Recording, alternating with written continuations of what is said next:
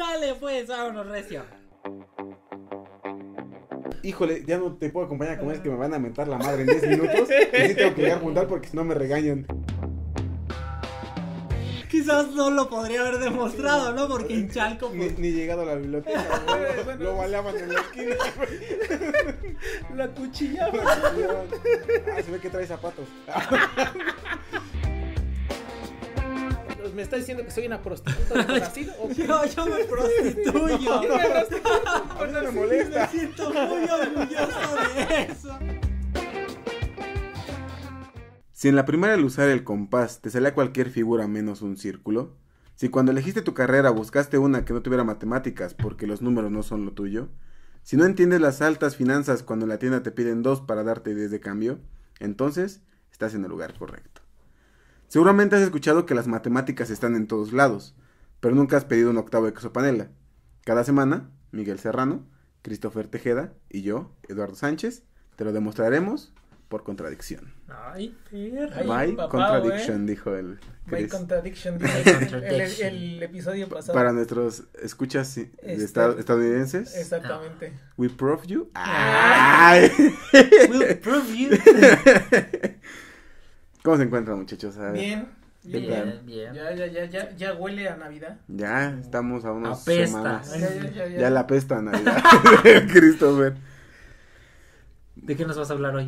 Antes que nada, quiero agradecer a todos los que nos están sintonizando un episodio más. Los que pagan Este. nuestro OnlyFans. Nuestro Only Mats. Ah, Ajá, ¿no? no, pues ya, ya vamos para un cuartito de siglo, güey. Con el podcast. Exactamente. ¿no? Ya casi estamos a nada de alcanzar un cuarto de siglo. 25 capítulos. Llevamos 22 capítulos. Este es el 22. Si mis números no falta, no fallan, sí. Y pues ya el podcast está por cumplir. A nosotros nos falta todavía para llegar a esa edad. Pero pues ah, ya el podcast anda de. Ya un está. cuarto de siglo ya lo pasamos, ¿no? No, no. güey. este güey está diciendo los jóvenes y. No, pues ya, no, ya hace, un chingo, ¿no? Ay, ya. el Miguel. No, pues ya, ya hace un montón ya los dejé. ¿Cómo? Ay, ¿Qué? ¿De quién? ¿Qué dijiste? ¿Quiénes son ustedes? El Miguel acá se queda de repente viendo al.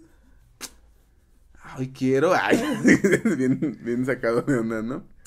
Pero bueno, vamos a empezar. Ok. Actualmente es muy fácil caer en manos de una secta. Desde un esquema piramidal hasta elegir entre 100 pesos y un consejo millonario.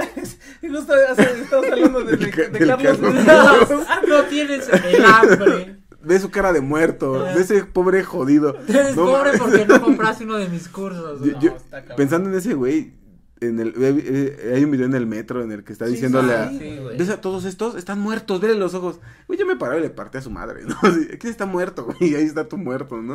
A ver quién es el muerto, perro. Ah, pero entró hasta con su bolsita de mandado, güey. Se veía genial, güey. Pero es que, güey, o sea, sí está chido, pero, carnal, no andas diciéndole a todos que están todos... Muertos de hambre. güey. Sí, güey. Todos son pendejos Digo, sí soy muerto de hambre, pero. Pero no me lo dices, güey. O sea, sí, sí tengo beca con ACID y soy muerto de hambre, pero no soy muerto de hambre porque tenga beca con ACID, ¿no? pero bueno. ¿Ustedes sabían que en Michoacán, aquí en México, o sea, sí, aquí en México, existe una secta conocida como la Nueva Jerusalén? Cuenta No. con unos 50 años más o menos de vida, güey. Sí. Ok. No, no Eh, sé. está fundada por un papa excomulgado por la iglesia, güey. Un padrecito excomulgado por la iglesia formó su secta, güey. Se llama la Nueva Jerusalén. Hijo de la verga. En esta en esta secta está Es hijo de la verga, güey. sí, literal, güey. eh, está prohibido usar tecnología, güey. O sea, no puedo usar ninguna tecnología. Y si ustedes buscan fotos, así la, las mujeres se visten con pañuelos de colores en la cabeza, güey. Es una secta, güey, mexicana. Actualmente, hace un poquito, güey, cuando fue en la sección de Monterrey y todo eso, güey, estuvo mu- muy de moda estar escuchando sobre Nexium. Sí. Esa es una secta, este, fue gringa.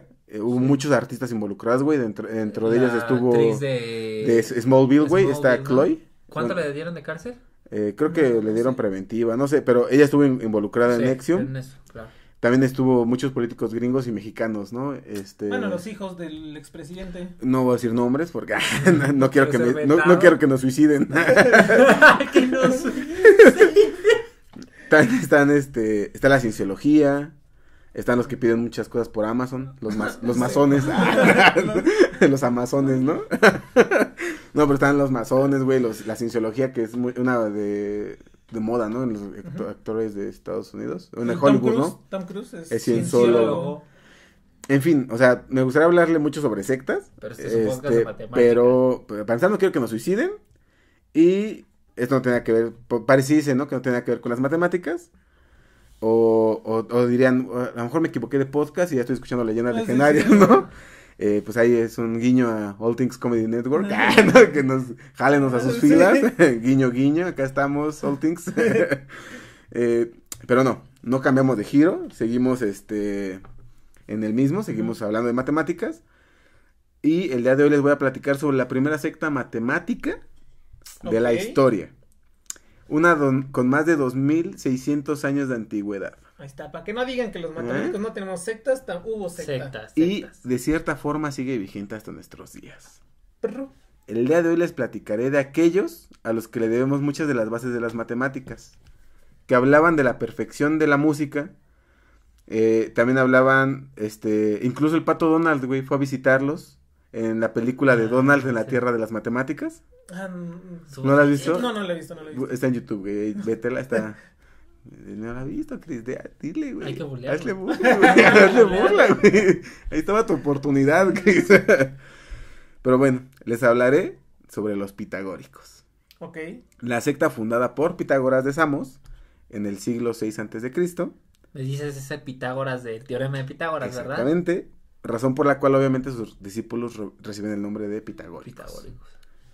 Si, ahorita, si ahorita en este momento salieran a la calle a preguntar y, o sea, si, si saliéramos y les preguntáramos a las personas que van pasando sobre el nombre de algún matemático conocido, seguramente el 99% de las personas nos dirían que Pitágoras. ¿Mm? Pero ¿quién fue este güey? O sea, ¿quién fue este señor? ¿Y por qué nos torturan desde la primaria, güey, en aprendernos el teorema que lleva su nombre, ¿no? Sí. sea, Que porque nadie sabe para qué sirve, pero. Ahí te va. Déjenles cuento un poco sobre él. Pitaco- Pitágoras nació en el año 569 antes de Cristo. Ok. Es considerado el primer matemático con un rostro a que le podemos hacer referencia. O sea, sí había muchos matemáticos antes que él, Pero de nombre, ¿no? pero es la primera que, que lleva un, como un nombre propio, ¿no? O sea, sí es el primer matemático de la historia del que podemos hablar, ¿no? Ok. Ok. con un nombre, como dices, ¿no? O sea, sí es el, ay, Pitágoras, ¿no? Y para responder a su pregunta de quién fue Pitágoras, mm, no podemos darle una respuesta como tal, güey. Porque, para empezar, es uno de los, o sea, sí es el primer matemático, pero es de las personas más misteriosas de las que también hay en la historia, güey. O sea, no hay mucha historia sobre Al él. final, secta. ¿Sí? Eh, algo así, es como ya que el destripador de las matemáticas, ¿no? Sabes que existió, güey, pero no se sabe mucho No sé, de, él, ¿no? Como tal. Ujú. Eh, ¿dónde vamos? Ah, sí. Todo lo que conocemos eh, levanta mucha sospecha, güey. O sea, ¿por qué? Porque parece como mucha ficción. O sea, como que le echaron mucha crema a los tacos, ¿no? Sobre la vida de, de Pitágoras. Y de hecho, lo, la, las historias que versan sobre su vida y sobre su nacimiento y demás son escritas cientos de años después, güey, de su muerte. O sea, Ah, o sea, eran fans que. ajá, que, que hablaban de Pitágoras, güey. De cierta forma, como una leyenda, ¿no? Ah, exactamente. es como Era la- la leyenda urbana. Sí. Sí, sí, sí. De hecho, sabemos que nació en la isla de Samos. Es lo que sí se sabe, es que nació en la isla de Samos frente a la costa de Asia Menor. Algunos autores mencionan que es hijo de nada más nada menos que el dios Apolo, güey. O sea, algunos autores dicen, ah, es hijo de Apolo. O sea, ya desde ahí dices, verga, va a estar Sí. rara la historia de este no, carnal. pero o sea, yo, entonces, o sea, fíjate que con razón sí le llaman que es este una secta, o sea, es como el mormón este, ¿no? Que es hijo de de no me acuerdo, es que yo no sé, John Powell creo se llama. No, no bueno, no sé, pero o sea, luego muchos este líderes de sectas sí se Sí, sí sí, se se, autonombran se- como- autoproclaman hijos de dioses Ajá, o, o hijos así de, o reencarnaciones, ¿no? De, divinidades, güey. Y cosas así. O sea, él era de Apolo. Ajá, él era hijo de Apolo. Algunos autores o muchas personas prefieren darle un origen un poquito más eh, terrenal, Más humano, güey. Sí, güey, y dicen que es hijo de una persona con mucho dinero, que se llama Mensarco, ahí de, de igual de Samos. Parece parecía el burro. Sí, Men- Men- Mensarco, güey. Eh, de hecho, se cree que, Pitágo- que, que Pitágoras cuando era joven conoció a Tales, Ok, Tales de Mileto. Ajá, porque Samos estaba cerca de la costa donde está Mileto. Mm, ah, ok. Entonces, Tal es el de los triángulos congruentes, ¿no? no, de hecho, Y las Inter- paralelas. en, al- sí, en algún punto yo que tenemos que platicar de Tales porque es el primer, para empezar, de los primeros grandes pensadores griegos. Y aparte ese güey es el que se le atribuye que en matemáticas se tengan que hacer demostraciones. Ah, o sea, O sea, el primero que hizo demostración. Él decía que los resultados tenían que llevar una demostración. Ah, Sí. Entonces, pues, se ha hecho hablar de tales, ¿no? Y, y se, la- se atribuye, por ejemplo, de las líneas Sí. rec- de El paralelas. teorema de El teorema de Tales. ¿no? Se dice que viajó a la cuna del conocimiento del mundo antiguo. Pitágoras, ya resulta Sí, sí, sí. Pitágoras. Lugares como Egipto y Persia. Ahí andaba con un príncipe, ¿no? Que podía manejar las arenas del tiempo. Ese, sí, sí, sí. ¿No? ¿Tampoco? No, güey, no. no, ya, ya, mira, ya ni me voy a esforzar. Ya, ya cada vez busco qué referencias meter, ¿no? A ver si de Plaza Sésamo, este, algo, algo, algo. Ahí aprendió sobre la literatura, la religión, la filosofía y, por supuesto, matemáticas, ¿no? Ok. Se cree que se estableció en Babilonia por unos 20 años. Ah, no manches. Sí, güey. Eh, Al rato va a ser Matusalén, ¿no? Tiene 542 años el Pitágoras. de hecho, sigue, ¿no? Hasta en nuestra época, güey. En donde se dedicó a enseñar astronomía, matemáticas y astrología, güey. O sea, en Ah, Babilonia durante... También leía el tarot. Ah, y sí, los le entraba signos zodiacales y todo, a los retrógradas y Sí, Mercurio retrógrado. todo eso, güey. Ah, Acabó Mercurio, pero a Sí. qué costo, ¿no? Sí, así. Acabó Mercurio retrógrado, pero a qué costo. Este, sí, en Babilonia se deseaba astronomía, astrología y matemáticas, Ah, güey. no manches. Por el año 530 se regresó a Samos, pero en ese momento estaba bajo el yugo del tirano Polícrates. Entonces dijo, no, vámonos, no se quedó mucho tiempo en Samos y se fue a, a Egipto, donde continuó estudiando para, al final se fue a establecer a Crotona, al sur de Italia, ahí de donde son los crotones, ¿no? Nah, Ah, ¿No? Sí. no, no sé, güey. Eh, allí comenzó la secta de los números. Ahí en, en Crotona empezó la secta de los números. Y sea, empezó a crear una sociedad de discípulos. Un poquito ahí secretona. Eh, pero aunque tenía ya cierto prestigio en la ciudad, güey, empezó a tener pedos con la gente. Y lo, lo sacaron de Crotona. Entonces se tuvo que ir, este, o sea, los crotosianos le dijeron, él, güey, este, vete, ¿no? dijeron, nos cagas, güey, como que, ah, no sé qué pedos hubo, dicen que hasta tuvo que salir así como huyendo, güey, de Crotona. Y se fue a Metaponto. Ah, es un albur, pero así se llama. Parece un Pokémon. Ajá, como Metapods, ¿no? Metapods, sí. Esos son los Metapods. Sí. ¿No? Metapods. Sí, por favor.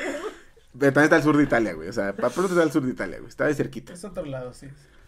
Es Va- como decir aquí en México se fue a Camucuato. así. Ajá, a Chinchoncuá, güey. Cinco, guau. No, es que es otro, güey. Está bajito de Chinchoncuá, güey. Bajo la guía de Pitágoras, los pitagóricos estudiaban toda y cada una de las disciplinas del momento. O sea, como que si era Sí, de, sí. güey, vamos a estudiar de todo, ¿no? Fue como los de antes, o sea que antes eh, todo uno estudiaba de todo, ¿no? Medicina, cultura, filosofía, matemáticas, todo. Las principales ramas de estudio eran la filosofía, Ujú. Las matemáticas y la astronomía. O sea, tiene sentido, es sí, la- sí, lo, como lo, lo que te rodeaba, ¿no? Que yo creo que siguen siendo como de las principales, ¿no?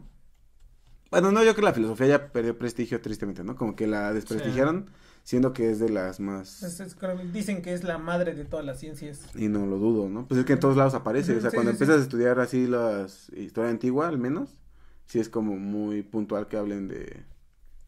De la... De la filosofía, filosofía. y las ideas, porque al final de cuentas la, la filosofía es como que esta, aparte de la cuestión de cuestionarse, ¿no?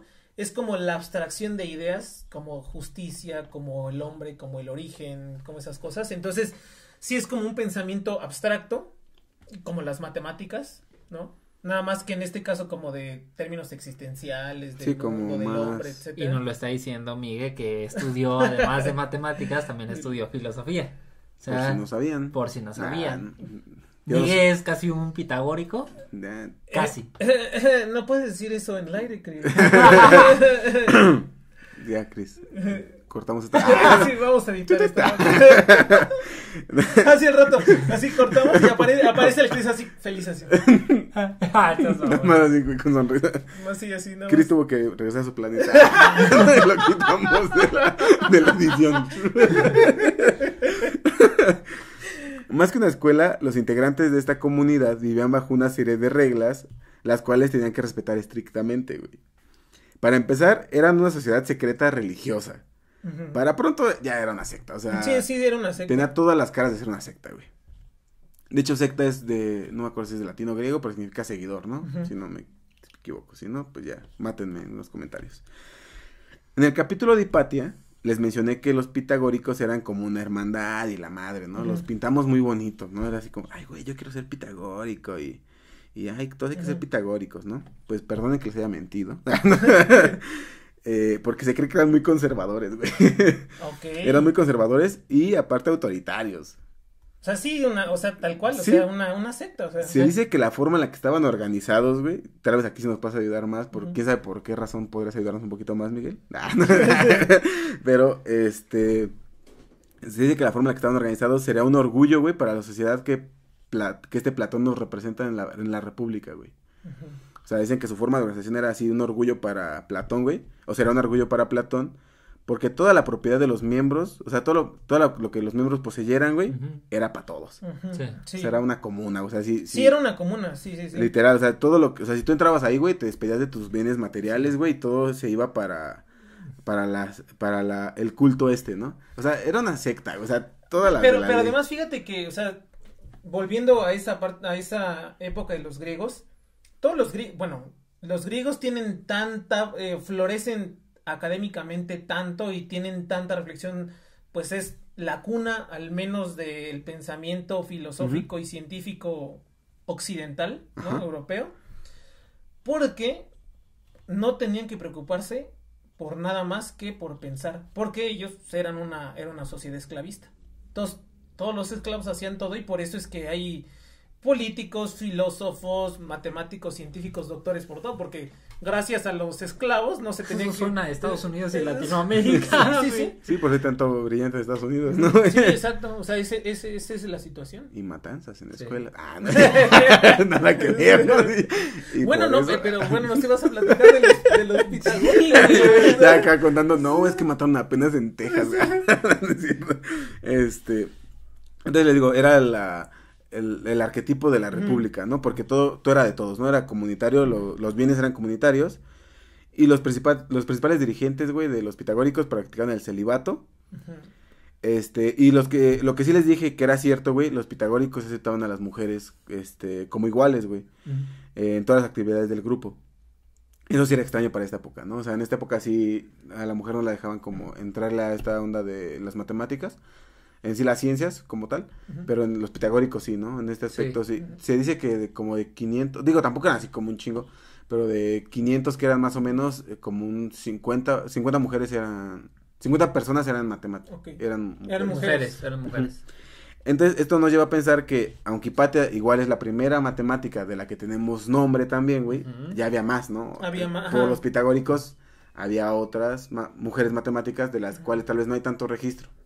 O sea, Hipatia tampoco fue la primera. O sea, yo les he mentido, ¿no? Hasta el día de hoy yo les he mentido nomás. Es más, nuestro fact checker, hay que hacer una llamada de atención a nuestro fact checker. no, porque, o sea, realmente esto ya es como cosas que vas como descubriendo, ¿no? Claro, sí. está cagado. O sea, perdónenme. O sea, vamos a borrar el capítulo de. Ah, no, pero está chido, ¿no? Eh, no hay mucho registro sobre todas las maravillas de que pasaban en esta secta. O sea, porque en esa época apenas empezaba a popularizarse el uso de los papiros, güey. O sea, todavía no había tanta onda de los papiros. Entonces, en los tiempos de Pitágoras no había casi ningún, güey. Ningún papiro. Aunque sí era, ellos sí pueden haber accedido a ellos, este, como que no era muy común, este, eh, tener transcripciones en papiros de esta onda. O, aunque el conocimiento también se podía guardar en tablillas de arcilla con escritura cuneiforme, también era muy difícil, ¿no? Era como intentar transcribir, o sea, es que dicen que se echaban así conversaciones larguísimas, güey, todos los discípulos y Pitágoras. Entonces era, imagínate, es como si estuvieras a las 2 de la mañana, güey, escuchando a tus dos cuates pachecos, platicando, güey, y tú intentaras transcribirle una servilleta, Sí, ¿no, güey? sí. O, o, bueno, es un ejemplo, güey. No es como- que lo haya vivido. no es que yo sea el amigo, ¿no? No es que no es que esté hablando de nosotros tres. es como si intentaran transcribir. no estamos pacheco, ¿no? Para, para empezar, ¿no? En fin. el conocimiento de los pitagóricos se transmitía aparte de forma oral. O sea, Sí. todo se iba transmitiendo de forma oral, también por ser mucha pérdida de toda la información de lo que Sí, se habló en su momento. Y además todo lo que se descubría, güey, se le atribuía a Pitágoras.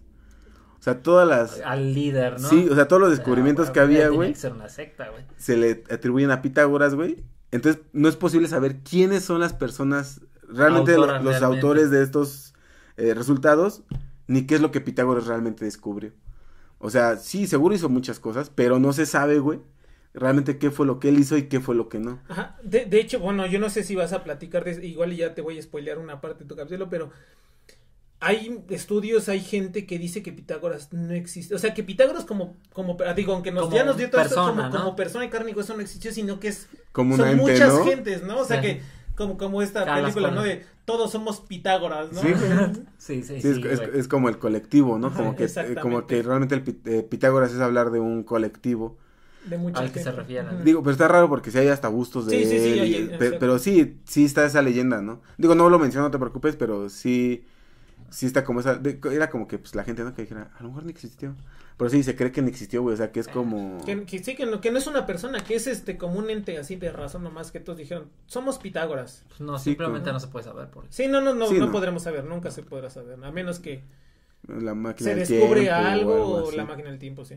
Sí, pero como tal no, no se sabe si eso no, si, si existió o no, ¿no? Y fíjate que estaría chido en algún momento también hablar. Viajar en el tiempo. ah, no. viajar en el tiempo además, no saber qué otros descubri- descubrimientos hizo Pitágoras. Porque, fíjate que ahorita estaba pensando que estabas hablando de esto de los pitagóricos. Lo único que uno sabe de Pitágoras es el El- teorema de Pitágoras. No, pero de- sí, y sí, si sí, es una secta, pues debe de haber otros resultados. Pone que no necesariamente de Pitágoras, pero que entre todos construyeron, ¿no? Ajá, pero, por ejemplo, eh, antes de que, bueno, todos todos hemos escuchado de Sócrates, Platón, Aristóteles, ¿no? Como tres personas así bien, bien, este, Chonchas. importantes, de- chonchas de la filosofía griega. Antes de ellos hubo todo un movimiento, un montón de gente que se les llamaron los presocráticos, los que están, y entre esos presocráticos está Pitágoras. Pitágoras. Y entonces los presocráticos es- trataban de buscar, o sea, de, de preguntarse qué es este el origen, o sea, del sí, del origen, que este de dónde provenimos, ¿no? Y decían que del agua, de- del aire, de la tierra, del fuego, etcétera, no así distintos. Sí, Y Pitágoras decía que de los números. Todos sus números. To- todos los números. De, de hecho, sí, una de sus frases muy famosas es todo es número. Ok. O sea, porque para él todos lo concebía como un número. Ahorita lo platicamos si quieren. Vale, vale. Porque, de hecho, bueno, ahorita verán, de- casi ni hablo del teorema de Pitágoras. Para empezar. Ok, ok. Los versos de oro eran los preceptos bajo los cuales se regían esta comunidad. Era, era- era su Biblia. era- Ajá. Los cuales son un símil a los mandamientos de la iglesia, güey. O sea, no son reglas absurdas ni conceptos que ayudan a, a in- a intentar guiar a la gente por un camino moral. O sea, es que les hicieron creer que eran como reglas absurdas, pero no, son, son preceptos, güey, que ayudan a la gente a, a guiarse por un camino moral, güey, favorecer la, la austeridad y alinear el estudio. Es como la guía moral de, ah, de, de Andrés mamón.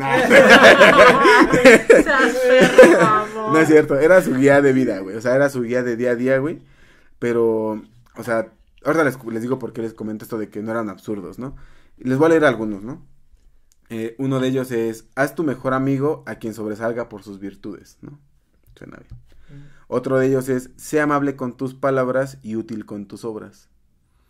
Ok. Está chido, ¿no? Para, o sea, porque hay gente que igual es muy... Eran bien buena onda esos compas. Ajá. O sea, digo, sí tienen su, su, su pedo sectario. Sí, sí, Pero pues sí. sí también tienen una, una forma, O sea, filosofía su- de vida Su filosofía es chida. decente, güey. O sea, de sí, panas, ¿no? ajá, sí es como de, güey, ese bron, ¿no? No, se compita, no compitas, ¿no? Este, y la que yo creo que ese sí va a ser nuestro mantra de vida, güey, es el siguiente, mira, ahí te va. Aprende todo lo necesario para que tu vida sea más feliz. Pero no descuides tu la salud de tu cuerpo. Para ello intenta encontrar la justa medida. Y entiéndase por justa medida como lo que no te cause dolor.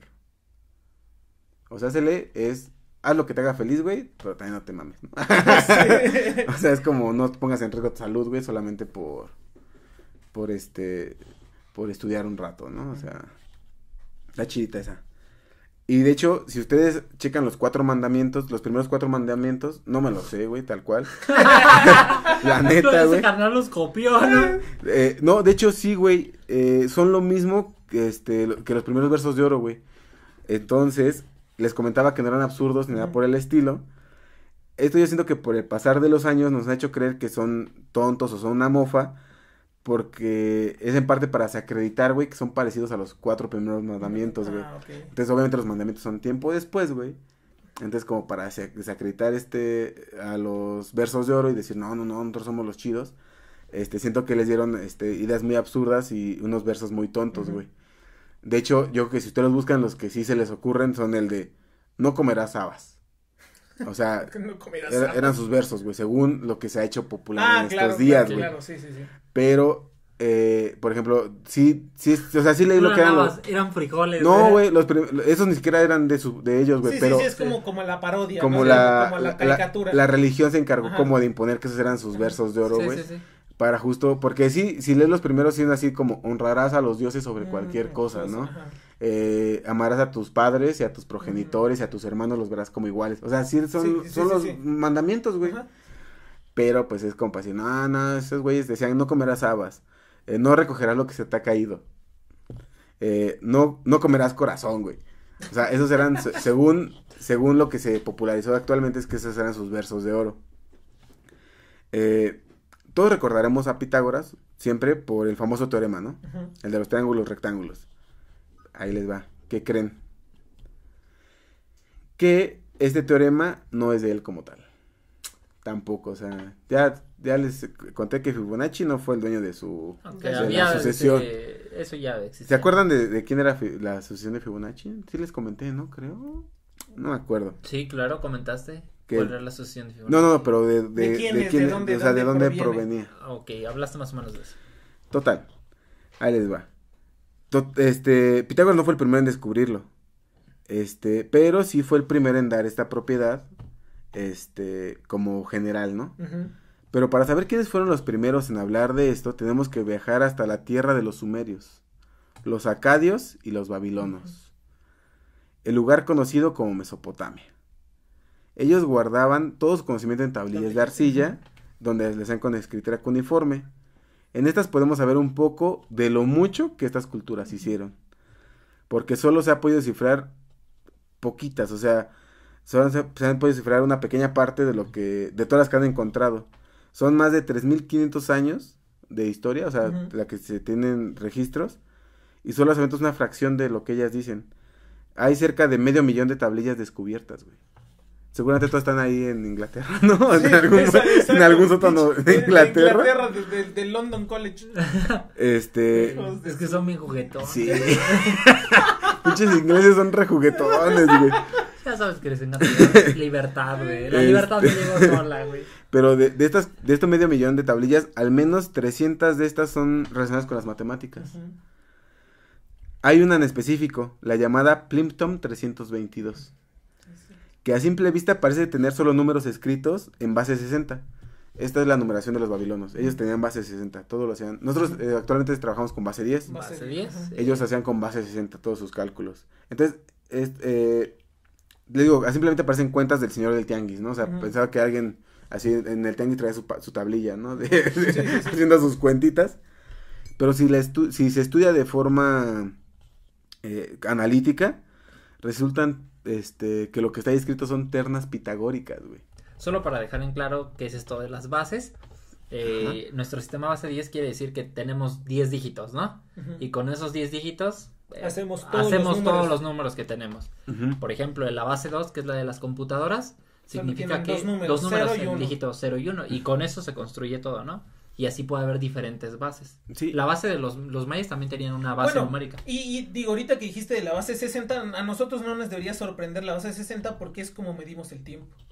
Sí. O sea, ese es, ese es, nosotros, el tiempo se mide en base sexagesimal. O está la otra base que, por ejemplo, La la, de los, cama. la, de los- la base que utilizaban los franceses. Por eso eh, los números en francés La base, creo que es 20, La- 80 es 20 por no sé La base cuánto. Croissant, cuatro veces 20. ¿no? Ajá. 80, Entonces, ¿por qué utilizaban otra base, no? La base es Entonces, 90, ese es solo, 90. solo para dejar en claro que es una base. Sí, ¿no? de hecho la numeración francesa es horrible, ¿no? Aprender los números Sí. en francés es base croissant, ¿no?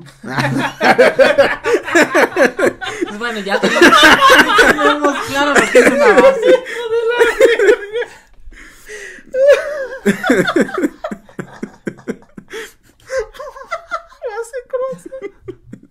Imagino un cuernito, güey, hace sus notas.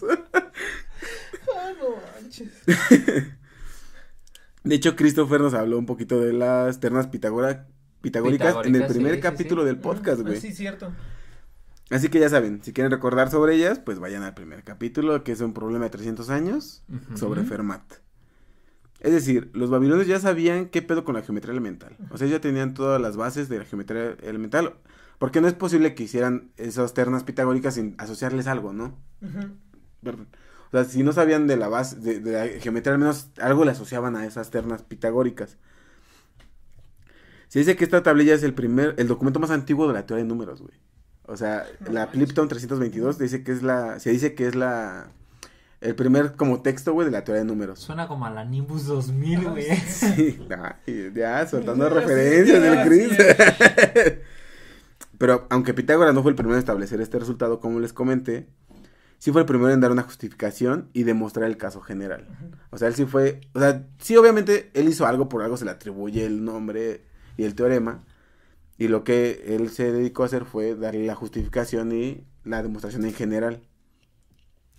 El, el teorema de Pitágoras realmente lo que no, eh, en pocas palabras lo que dice es que la suma de los cuadrados de los catetos es igual al cuadrado de la hipotenusa. Es correcto. O sea, eso, lo- se han peleado con ese teorema desde la primaria, ¿no? Y, o sea, creo que de los, de lo, de, el, el- yo, empe- yo personalmente, el primer teorema que supe que, que existía, güey, fue el teorema de Pitágoras. Y pensé que era como su nombre nada más, güey, no sabía que había más teoremas, ¿no? O sea, yo cuando era- No, bueno, no sé si vais a hablar de eso, eh, más específicamente del teorema, del teorema de Pitágoras, pero eh, aunque dijimos como de chascarrillo para nadie sabe para qué sirve, realmente es fundamental.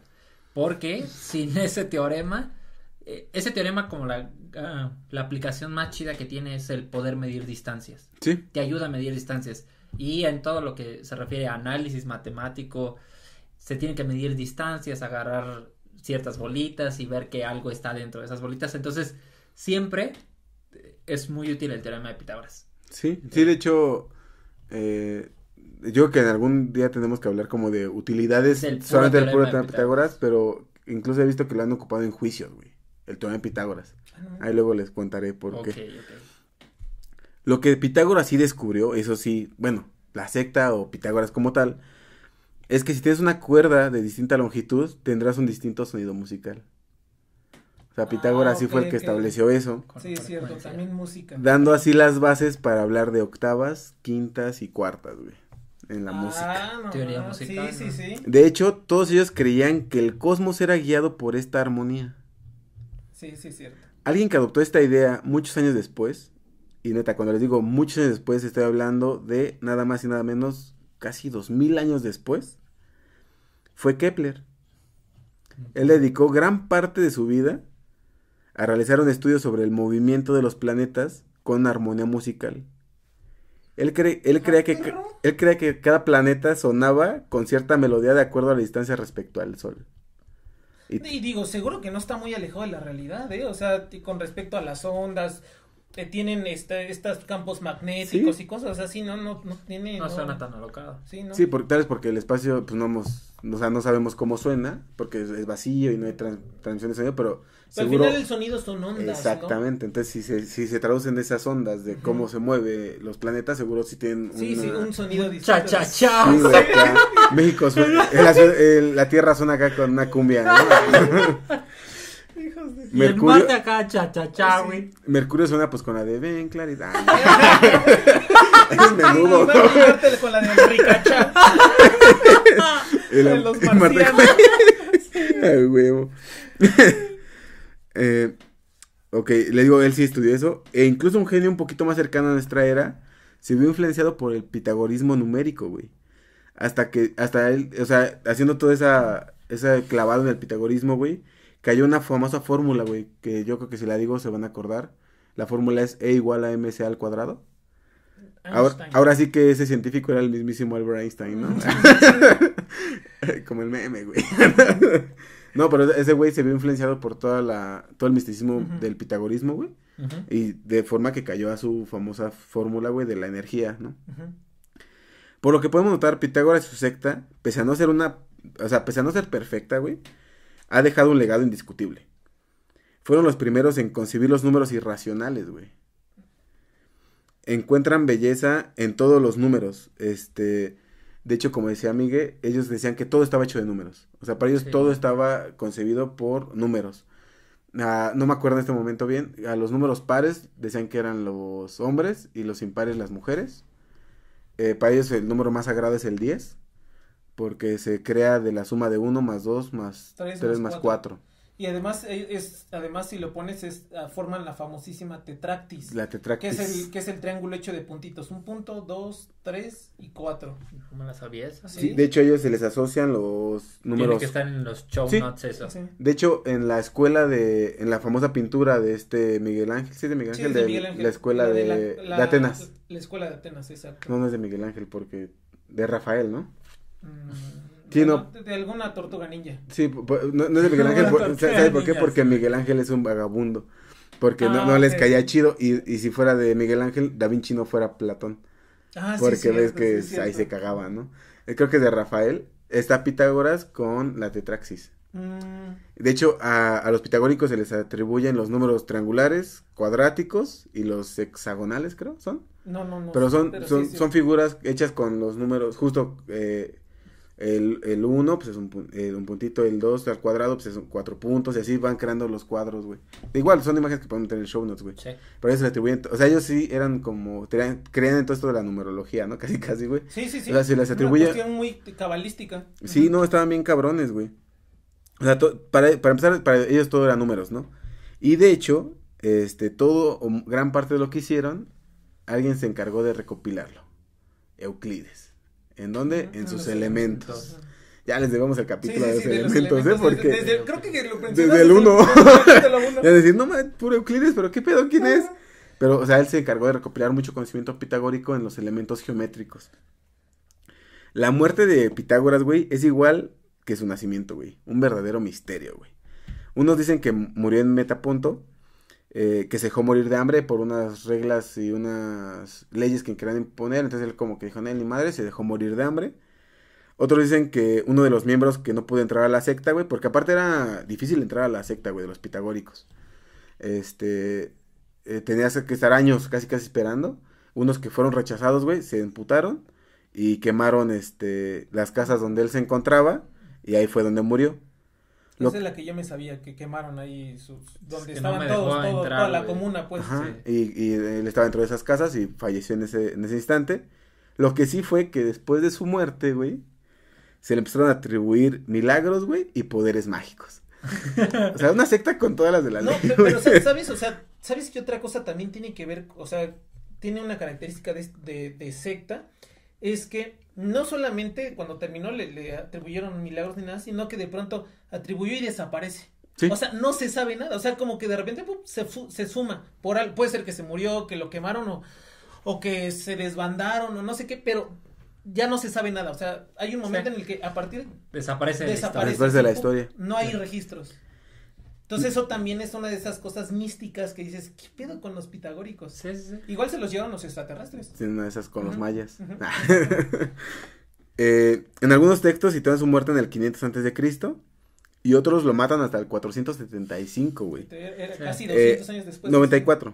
Tenía 94 años de 94. Así como el líder norcoreano.